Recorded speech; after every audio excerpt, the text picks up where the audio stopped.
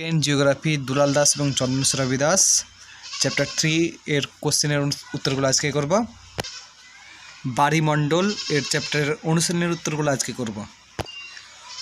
বহুকল্প ভিত্তিক প্রশ্ন, মান ওয়ান সঠিক উত্তরটি নির্বাচন করো। পৃথিবী থেকে চাঁদের দূরত্ব যখন সবচেয়ে কম হয়, তখন যে জোয়ার সৃষ্টি হয় তাকে বলে পেজ নম্বর ফিফটি এইট যেখানে পৃথিবী থেকে চাঁদের দূরত্ব সর্বনিম্ন থাকে, তখন তাকে পেরেজি বলে, পেরেজি অবস্থান বলে। উত্তরটি হবে পেরেজি পেরেজি জুয়ার, সি নম্বর। শীতল ল্যাবরেটর স্রোত ও উষ্ণ উপসাগরীয় স্রোত মিলিত হয়ে ঘন কুয়াশা ও ঝড়ঝঞ্ঝার সৃষ্টি করে যে উপকূল অঞ্চলে তা হলো এই নম্বরটা হবে নিউ ফাউন্ডল্যান্ড উপকূল, পেজ নম্বর ফিফটি ফাইভ এখানে হালকা করে দেওয়া রয়েছে। শীতল ল্যাবরেটর স্রোতের মিলনে ঘন কুয়াশা, ঝড়ঝঞ্ঝার সৃষ্টি হয়। নেক্সট কোশ্চেন মরাকোটালের সময়ে চন্দ্র ও সূর্য পৃথিবীর সাপেক্ষে কত ডিগ্রি কোণে অবস্থান করে? পেজ নম্বর ফিফটি এইট এই যেখানে মরাকোটালের সময় চাঁদ, সূর্য পৃথিবীর নাইনটি ডিগ্রি কোণে অবস্থান করে। Ninety degree. অর্থাৎ উত্তরটি হবে সি নম্বর নাইনটি ডিগ্রি। উষ্ণ সমুদ্র স্রোত ও শীতল সমুদ্র স্রোত যেই স্থানে মিলিত হয় তাকে বলে হিমপ্রাচীর। পারুলের পেজ নম্বর ফিফটি থ্রিতে রয়েছে। যেখানে উষ্ণ ও শীতল সমুদ্র স্রোত পাশাপাশি প্রবাহিত হলে তাকে হিমপ্রাচীর বলা হয়। নেক্সট কোশ্চেন পাঁচ নম্বর, পৃথিবী ও চাঁদের মধ্যে সর্বাধিক দূরত্ব হলে তাকে তাকে বলে dash page number fifty eight এখানে চাঁদ থেকে এর দূরত্ব যদি সর্বাধিক হয়, তাকে বলা হয় অ্যাপোজি এই যে অ্যাপোজি তাছাড়া এখানেও রয়েছে, পৃথিবী থেকে চাঁদের দূরত্ব সর্বাধিক হয়, তখন তাকে অ্যাপোজি বলা হয়। কোশ্চেন নম্বর সিক্স কোনো স্থানের জোয়ার ও ভাটার প্রকৃত ব্যবধান? প্রায়। পেজ নম্বর ফিফটি সেভেন জোয়ার ও ভাটার মধ্যে, জোয়ার ও ভাটার পরবর্তী ভাটার সঙ্গে সময়ের ব্যবধান থাকে ছয় ঘণ্টা তেরো মিনিট। অর্থাৎ উত্তরটা হবে ছয় ঘন্টারও বেশি, ছয় ঘণ্টার বেশি অপশান বি অতি সংক্ষিপ্ত উত্তরভিত্তিক প্রশ্ন। পৃথিবীর ড্যাশ বলের প্রভাবে গৌণ জোয়ার সৃষ্টি হয়।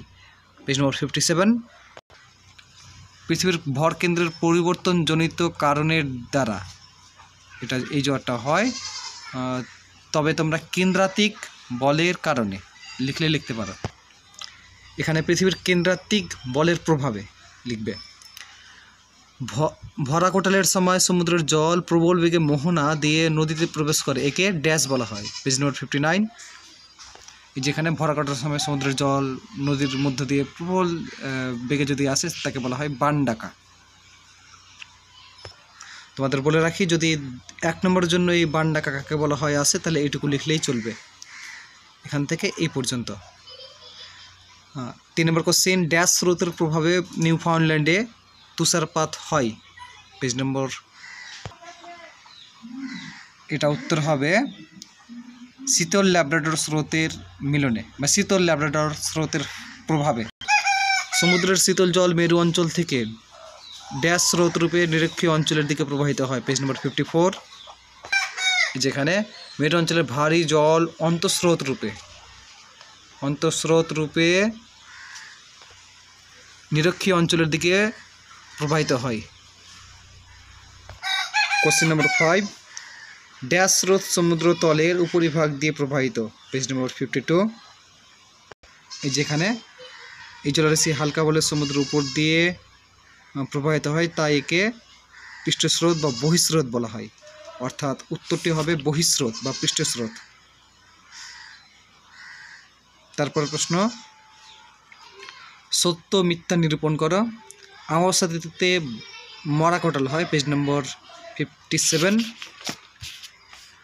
আমরা এখানে দেখতে পাচ্ছি অমাবস্যা তিথিতে ভরা কোটাল হয়, মরা কোটাল নয় মানে অর্থাৎ এটি মিথ্যা। তারপরের প্রশ্ন শীতল ও উষ্ণ স্রোতের মিলনস্থলে কুয়াশা ও ঝড়ঝঞ্ঝা দেখা যায়। পেজ নম্বর ফিফটি থ্রি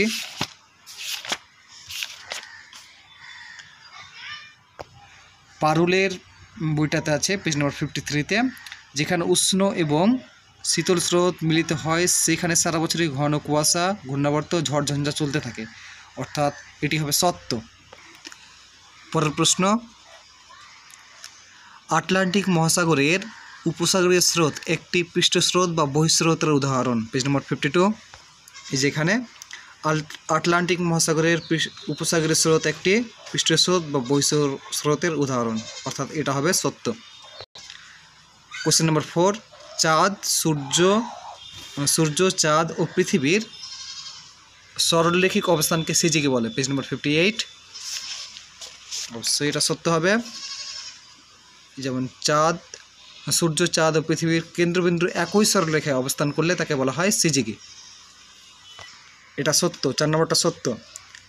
নিরক্ষীয় অঞ্চলে সমুদ্র জলের লবণাক্ত সর্বাধিক থাকে, পেজ নম্বর ফিফটি ফোর যেখানে নিরক্ষীয় ও মেরুবৃত্ত প্রদেশীয় অঞ্চলে জলের লবণতা খুব কম থাকে। অর্থাৎ পাঁচ নম্বরটি মিথ্যা। বাম স্তম্ভ, ডান স্তম্ভ মিলাও। নিউ ফাউন্ডল্যান্ড এটা হবে মগ্নচড়া। তারপর আছে সংযোগ। সংযোগটা দেখা যায় অমাবস্যা তিথিতে। উত্তর আটলান্টিক মহাসাগর, এটা হবে শৈবাল সাগর। অ্যাপোজি হবে চাঁদের অপসুর অপো, অ্যাপো। নামটা মিলে আছে। মনে রাখার টেকনিক অপসুর। অপসুরের অপ আর অ্যাপোজির অ্যাপো, অপো। পরের প্রশ্ন, দুই একটি শব্দ উত্তর দাও। উষ্ণতার ভিত্তিকে, ভিত্তিতে সমুদ্র স্রোতকে কী কী ভাগে ভাগ করা হয়? উষ্ণতার ভিত্তিতে সমুদ্র স্রোতকে দুই ভাগে ভাগ করা হয়। এক উষ্ণ স্রোত, শীতল স্রোত। এই যেখানে সমুদ্র স্রোতের উৎপত্তির মূল কারণ কি? পেজ নম্বর ফিফটি থ্রি এই যে নিয়ত বায়ু প্রবাহ সমুদ্র স্রোত সৃষ্টির প্রধান কারণ। পৃথিবীর একটি আদর্শ মৎ- মৎস্যক্ষেত্রের নাম লেখো, পেজ নম্বর ফিফটি ফাইভ যেখানে মগ্নচড়াতে মগ্নচড়াতে মগ্নচড়াগুলিতে স্থলভাগ বাহিত প্রচুর জৈব অজৈব পদার্থ সঞ্চয় করে, এগুলোকে প্ল্যাঙ্কটন বলা হয়। এই প্ল্যাংটন প্রধান প্ল্যাংটনের প্রধান খাদ্য, সরি, এগুলি প্ল্যাংটনের প্রধান খাদ্য এবং এই প্ল্যাংটনগুলি মাছের প্রধান খাদ্য, ফলে এখানে মাছের ঝাঁক বেশি দেখা যায়। তো সুতরাং এটা হবে মগ্ন চড়াতে সবচেয়ে বেশি আদর্শ মৎস্যক্ষেত্র দেখা যায়, যেখানে এই মগ্ন চড়াগুলি বাণিজ্যিকভাবে মৎস্যক্ষেত্র রূপে গড়ে উঠেছে। ক্রান্তীয় সমুদ্রে কোন ধরনের সমুদ্র স্রোত দেখা যায়? উত্তরটি হবে উষ্ণ সমুদ্র স্রোত। সামুদ্রিক মাছের প্রধান খাদ্য কি? প্ল্যাংটন। একটু আগে আমরা দেখলাম plankton P L A N K T O N মরা জোয়ার কোন তিথিতে হয়? পেজ নম্বর ফিফটি এইট যেখানে অষ্টমী তিথিতে মরা জোয়ার হয়, অষ্টমী তিথিতে। পার্ট ওয়ানের লাস্ট প্রশ্ন, একটি পৃথিবী বিখ্যাত সামুদ্রিক মগ্নচড়ার নাম লেখো। পেজ নম্বর ফিফটি ফাইভ যে একটি পৃথিবী বিখ্যাত মগ্নচড়া হলো grand bank grand bank new ফাউন্ডল্যান্ডের grand bank তো আজকে এই পর্যন্তই। এর পরবর্তীর প্রশ্নগুলোর উত্তর যদি তোমরা চাও, তাহলে কমেন্টে জানাও। খুব তাড়াতাড়ি আমি ভিডিও দেবা। আর অন্যান্য চ্যাপ্টারগুলো যদি চাও যে সব চ্যাপ্টার চাও, সেই সব চ্যাপ্টারের নাম লিখে আমাকে জানাও। আমি বা চ্যাপ্টারের নম্বর লিখে আমাকে জানাও। আমি কমেন্ট আমি খুব শীঘ্রই উত্তর দেওয়ার চেষ্টা করব তোমাদের। Thank you